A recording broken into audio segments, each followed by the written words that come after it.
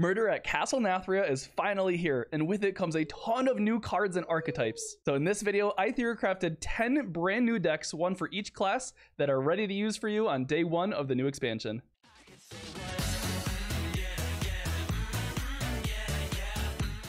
Hey guys, I'm Funki Monki, your off-meta deck builder, and in this video, we're going to be going over 10 brand new decks, one for each class that you can use for day one of the new expansion. Now, all the decks you're about to see, I tried to make them as different and unique as I could while including as many of the new cards, while still keeping them competitively viable. I do this kind of video for every expansion, and frequently the decks that are in these videos do become meta, so I think you guys are absolutely going to love the decks you're about to see. And all I do is deck build on this channel, and I only make my own decks, and I've promised to never net deck deck. So if you want to see the most unique, creative, fun off-meta decks for the new expansion, then consider subscribing. It's free and you can always change your mind later. But without further ado, let's hop into the decks.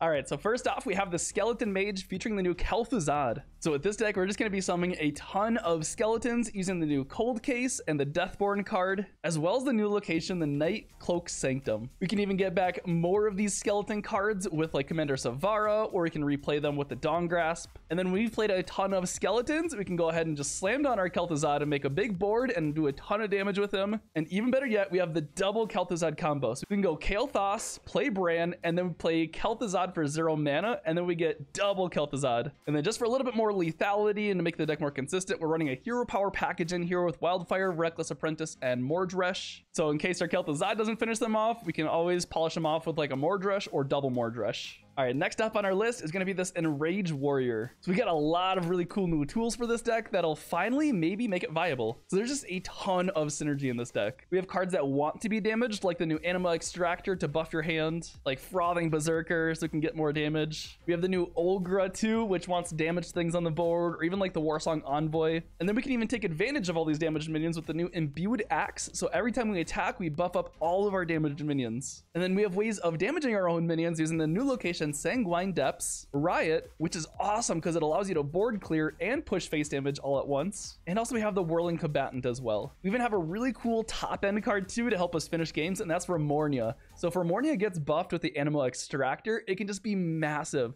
And then every time you attack with it, you get it as a weapon, and then you can swing face with that weapon, get it as a minion again, and just keep repeating back and forth. Yeah, this one I'm probably looking forward to the most in the new expansion, so I hope it's viable, but it looks good on paper. The third deck up is going to be this Shadow Thief Priest. And this archetype also got a ton of new support cards. So we can copy a bunch of cards from our opponent using like the new Identity Theft, Murloc Holmes, or like the new Theotar. And then we can discount all those copied cards using the Mysterious Visitor and if we play those cards with Harvester of Envy, we get to steal our opponent's original copies of it. So not only are you just generating a ton of value with this deck, but you can actually disrupt your opponent too by stealing their stuff. We also do have the Wombo combo of playing Cathedral of Atonement into Partner in Crime the turn 3 into turn 4, because that allows you to get two 4-6 minions by turn 4. So that combo is just pretty good. You probably want to run it in every priest deck. Yeah, this deck is super annoying to play against, so I can't wait to get my hands on it and just annoy everybody on ladder.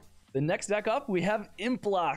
They're pushing a ton of support for this, so I know a lot of you guys are looking forward to some Implock. I had the pleasure of playing this for early access theory crafting event, and it felt really strong. We want to play this like an aggro deck, just flood the board with as many early costed imps and minions as possible. We can just draw a million cards with impending catastrophe, or buff up a minion by like plus seven plus seven with the new location, Vile Library. We even have some pretty cool combos in here too. So like if we have any imps on the board, we can use the Vile Location buff and play that on some Muro for a board clear. We can also buff our imps with the Shady Bartender or polish them off with like the Imp King Rafaam. Yeah, I think Imp Lock is looking pretty legit this expansion and it looks pretty impressive. All right, so our fifth, sixth, fourth deck up is going to be this big Druid. So this deck has some really massive wombo combos to it. So we want to set up our big death rattle stuff using the new hedge maze location. And then we just want to ramp, ramp, ramp, ramp, ramp up to getting to our death blossom womper. And it's guaranteed to either get the Sesselie death rattle or the stoneborn general death rattle. And we can activate them on the same turn using the new hedge maze. So like the ideal curve would be like ramping on turn four, turn five, you play the death blossom womper and you get the general death rattle and then you activate that right away. So you get a 7-6 Death Rattle, and you also get an 8-8 Rush on turn 5. We also can do some cool stuff if we get like the Sesselie Death Rattle. So if we activate that, we can get like a 2-mana Neptulon, a 2-mana Raid Boss Onyxia. And if those massive power spikes in the mid game don't end the game, well, we can always polish them off with the Convoke the Spirits, and that'll always surely give us lethal, right? Right? All right, the next deck that we have is going to be this Fel Relic Demon Hunter. So the relics by themselves are not that powerful. They almost seem like more support cards. So they're going to help us draw through a deck like crazy using the Relic of Dimensions and help us fight for board a little bit to survive using the Relic of Extinction. So that way we can do what Fel Demon Hunter does best, and that way we can just go face with all of our Fel spells and polish them off with the Jace. And one really cool thing is that if we play Zaleg on turn 7 and everything dies, it automatically infuses our Xy'mox, so he's ready on turn 8. Yeah, this deck is really cool. We can play offensively, we can play defensively, we gotta do a lot of mana cheating and a lot of face damage, and it just feels like a very demon huntery kind of deck. All right, so our seventh deck on the list here is going to be this Totem Shaman. I've always been a big Totem Shaman fan, so hopefully it can finally be viable because we got a lot of new support cards for this. So we have the new legendary, the Stonewright, where when you play it, it gets plus two attack for all your totems for the rest of the game. So if you can play this early, like on curve on turn four, that's just pretty much game winning. You can get just milk so much value throughout the game. But naturally, totems just want to go wide, and we're going to be summoning a ton of them, especially with the new party favor totem, where we're going to be summoning two at the end of every turn, or like the carving chisel, which summons three totems total over three turns. So we can take advantage of the famished fool. A lot of them are going to be dying, so we can get some really good card draw that way. And if we have a wide board stick, we can polish them off with a bloodlust, or we can even slam down a really cheap sea giant. And because we're summoning so many totems, we can get our Gigantotems discounted to pretty cheap very quickly as well. Like, you can play these for zero mana on turn five. And if all else fails, we always have the good old reliable Snowfall Guardian into Parrot Wind condition. Because if we don't have our Stonewright card, then we're just to be summoning a bunch of zero attack totems on our board, which do nothing.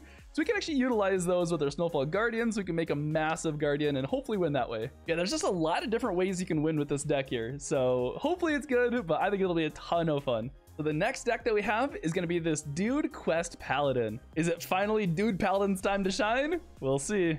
But it got a few new cards which seem perfect for the deck. So we got the new Sinful Sous Chef, which is basically three quest progressions and one card. We also have promotion, which is amazing stats on any dude that we have, which is pretty easy to do. We're always summoning dudes. And because we're summoning so many dudes throughout the game, we can take advantage of the Buffet Biggun to summon just a massive amount of stats. And after the quest is completed, the Biggun summons two 5-3 Divine Shields. That's insane. And when all of our dudes start dying, we can get some massive card draw with the new Famished Fool. To help buff our dudes up, we even have the Great Hall card, and this is pretty versatile too. Like if we want to get through like a big taunt minion, we can shrink the taunt minion with the Great Hall because we can also use it on allies or enemies. Or we can just take like a 1-1 dude and buff it up to be a 3-3. And then for some massive value, we are running the new legendary Stewart of the Steward because we're summoning a ton of dudes, so this guy can just summon a lot of stats throughout the whole game. Yeah, this deck might finally be the one that gets Dude Paladin to be viable.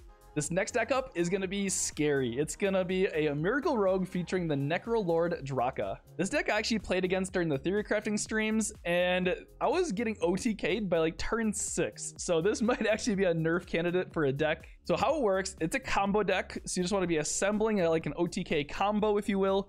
You want to be getting a bunch of coins in your hand using the Loan Shark and using the Sketchy Information. And then you play your Gadgetzan Auctioneer, and then you play all your coins with the Loan Shark to just draw a bunch to your deck, play all your cheap spells.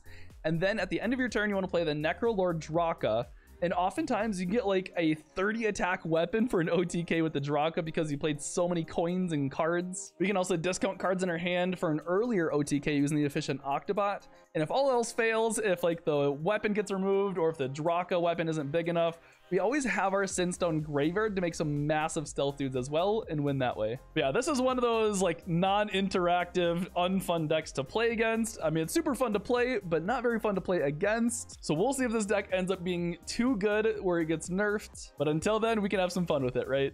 And the last deck, but certainly not least, is going to be this Wild Seed Hunter. This is a brand new archetype featuring all the new Wild Seed cards. So this deck is all about board control. So we want to start out with a very early game using some sticky minions like Batty Guest or Click Clocker so we can buff them up on turn two using like the Doggy Biscuit or even the new Castle Kennels. And then from there, we just want to be just curving out and battling for the board. We want to play our Wild Seeds on turn three, maybe even like buff one of them up with a Ramming Charge and trade because we can control the board super easily with this deck, which means that we get to keep going face. And once we're ahead on the board, once we can keep going face, we have some really cool finishers. Like we have the Twin Bow Terrorcoil, so we can double up like a piercing shot for a ton of damage. We can even double up like our Wild Seed cards too if we want to for more board. And we can also polish them off with the new Huntsman Altimor. And we summon a bunch of animal companions and we just win with Huffer.